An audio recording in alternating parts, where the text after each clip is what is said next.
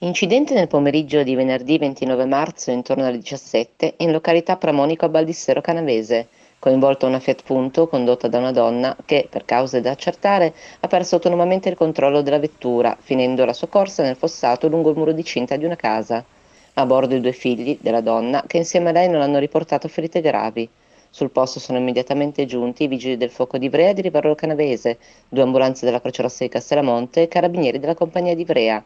I tre occupanti della vettura sono stati affidati alle cure dei sanitari e sono stati trasferiti all'ospedale di Ivrea per i dovuti accertamenti. Non sono in pericolo di vita.